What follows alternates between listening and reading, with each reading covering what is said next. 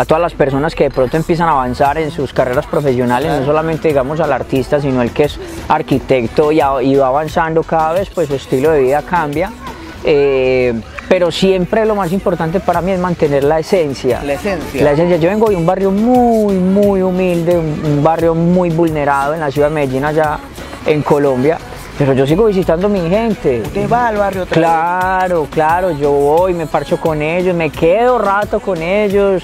Acá no sé cómo le llaman a eso, allá le decimos tomar polas, es decir, Ya. cervecitas. ¿Ya? Cerveza, nos ponemos a tomar cerveza, porque yo no tomo mucho licor. De hecho, Ya. no tomo casi, sino que cuando estoy con ellos Claro. me tomo una o dos cervecitas pa Para compartir, compartir, para para compartir. compartir, para contarles pues cómo, cómo es mi vida y, y los llevo a mi casa eh, y me ando con ellos y los he llevado a conciertos y les ayudo. De 10 o 15 amigos que tengo, porque tenía más, tenía por ahí Ya. unos 100, pero a muchos los mataron. Porque pues escogieron una vida es que... Exacto, porque vengo, el, el barrio de donde yo vengo es bien complicado, o sea, Claro. no se imaginan. O sea, imagínate, si cómo- no hubieras sido cantante, Sí. por ahí te hubieras muerto ahorita.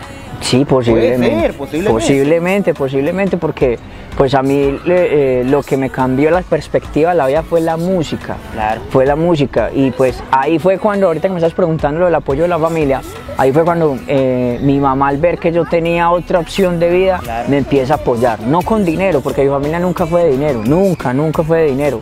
Eh, ahorita pues las cosas están un poquito mejor eh, y, y a- y le doy gracias a Dios porque no nos falta la, la comida, que es lo más importante para mí, la comida del techito. Eh, pero pues en, en su momento eh, nos, nos veíamos carentes de muchas cosas y, y, pues mi mamá me empieza a apoyar porque ella vio que era otra opción de vida para mí.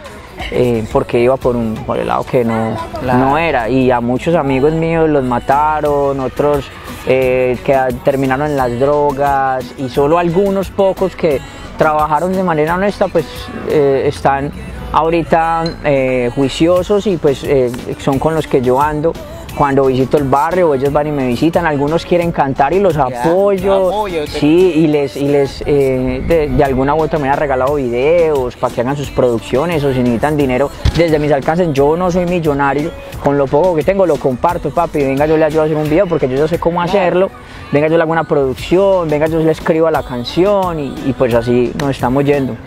Y muy interesante la verdad lo que estamos escuchando. Por ahí. ¿Sufriste hambre? ¿Has pasado hambre? sí sí sí sí Sí. Sí, de hecho, eh, me, me acuerdo de un día Ya. que pues yo salí hacia el colegio y mi mamá me dijo, no hay nada, no hay Nada. nada de, de- de comer.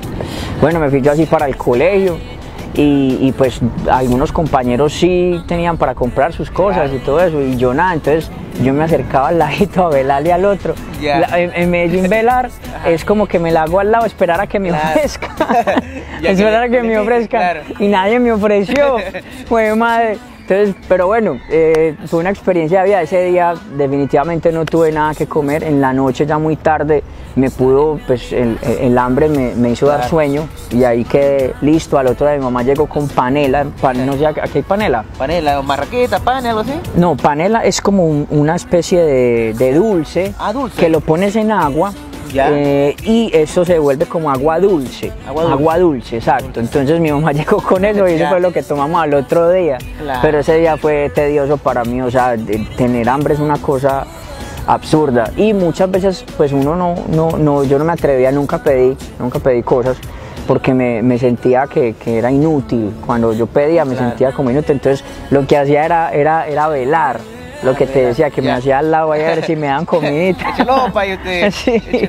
Para ahí a ver si me invitan, digamos. Sí, sí, sí, pero bueno, es una experiencia más de vida, lo, lo- le doy gracias a Dios también por eso, porque ahí supe que era, ahí supe que era y ahí supe que la comida, cuando tengas comida, hay que agradecerle, hay que agradecerle a Dios todos los días de la vida, todos los días de la vida, porque si te levantas, pues tienes la oportunidad, desde el solo hecho de estarte levantando, tienes la oportunidad de salir a trabajar y de buscarte tu comida. La verdad, una gran historia. Esperamos que los jóvenes tomen en cuenta cómo él ha llegado desde abajo y sigue subiendo.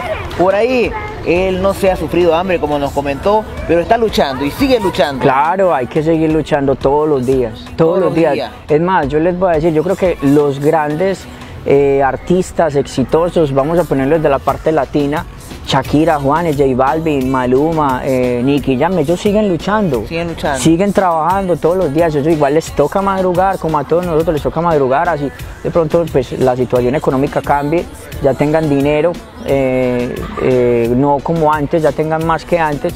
Ellos igual les toca madrugar, les toca levantarse, les toca eh, trabajar por, por lo que están haciendo. Por ejemplo, y ahora cambiando de tema, este, ¿cómo te financian los videos? No sé, porque hemos visto los videos que son Sí. nivel. Son nivel los videos. sí, sí. Bueno, no, todo así como te digo, eh, trabajo, trabajo, sí, le, le presento propuestas a, eh, A productoras por a productoras, pues, afortunadamente conocí a mi manager, Ya. eh, el cual ve mi talento, eh, está allí detrás, está Claro. ya sen- sentado. Vamos a hablar después con él también, vamos a hablar con él. Exacto, eh, ha trabajado con grandes marcas y pues él fue un apoyo importantísimo para mí. Eh, empezamos a hacer los videos, también eh, algunos familiares que al ver que yo estaba trabajando, que es que la gente después de que, que vos estás trabajando te ayuda. Primero lo ven trabajar y Sí, te piden ayuda. exacto, la gente siempre quiere primero la ayuda y después trabajar. Claro. No, usted tiene que empezar primero a trabajar. primero. Claro, mostrar. Entonces cuando yo empecé a, a trabajar, pues ya empecé a encontrar más ayudas y así fui desarrollando todo mi proyecto y pues a- hoy en día ya el proyecto se mantiene solito. Claro, porque lo hemos Gracias visto a en, va- Dios. en varios medios, justamente lo hemos visto, allá Sí. en Colombia, en radio y todo ello. Y es porque está trabajando. Y Sí. felicidades. Muchas gracias. No, muchas felicidades, gracias. la verdad. Gracias, igual que ustedes estamos trabajando por un proyecto. Por ejemplo, antes de irnos, por, ¿puede cantar algo? Sí, claro, así. Así, a capela también. Dice así. Déjame saber que a tu cuerpo y a tu cama me hago falta. Y es que es así, así como te gusta a ti. Que yo te lo haga si a ti te encanta. Y me gritas que te lo haga, mami, así. Sí, sí te gusta así. Sí, sí, baby, así. Oh. ¡Wow!